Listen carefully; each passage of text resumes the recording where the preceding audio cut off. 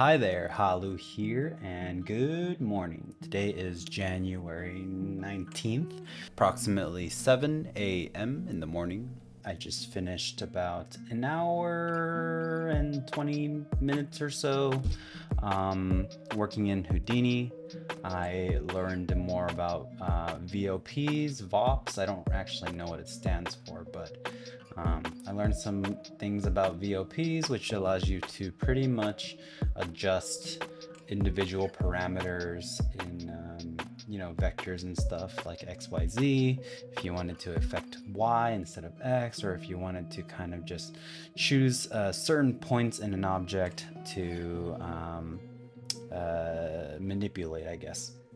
And then I got a little small introduction into Vellum, which I believe is more into like simple cloth simulations, um, just such as like a clothes, or in my example, what I learned today was to do with the, like a flag.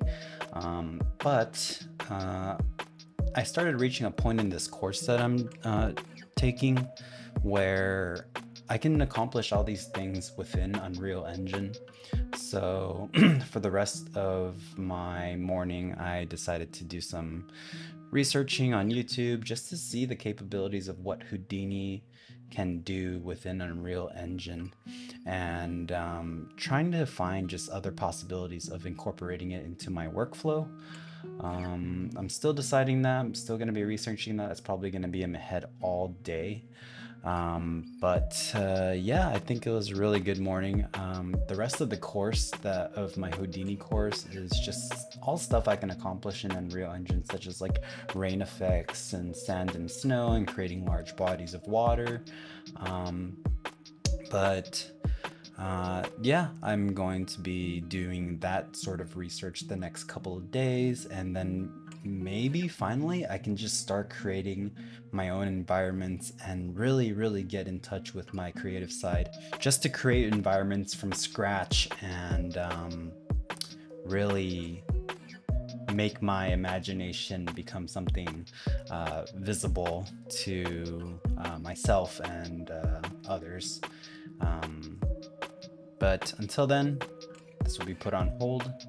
I got to get ready for work and start my day. As usual, I went through my normal routine of brewing coffee to cool off, packing my vitamins, aquaphoring, marking Houdini off my to do list, making my latte, eating a bao, taking my vitamins, then heading to work. On Fridays, we go out for lunch. We went to this spot named Big E's.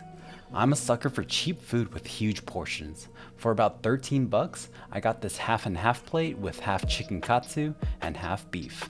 It came with mac salad, potato salad, and pickled cabbage, which was basically coleslaw without the coal. And the slaw was the only thing I do not recommend. Otherwise, everything else tasted amazing. My coworker ordered their fries plate. I don't know what it's called, but it's pretty much meat and fries. If you're looking for something greasy and fattening, you gotta come try this. After gaining about a thousand pounds, I went back to my car and became deceased. Came back home and marked work off my calendar. I didn't go to Cairo after work since I had to take a fat poo poo. Then it was time to eat again. I swear, that's all I did today. For dinner, we had spare ribs refried from yesterday, mabo tofu, fish soup, and the ingredients that went in it. Although I don't really like eating fish. And that was pretty much my January January 19th. Um, yeah, pretty normal day as usual. Just another work day. Got to eat some good food. But I am in the heaviest food coma of my life. And my belly's big. I need to sleep this off. But thank you so much for stopping by. Hollow at you later. See you again tomorrow. Bye bye.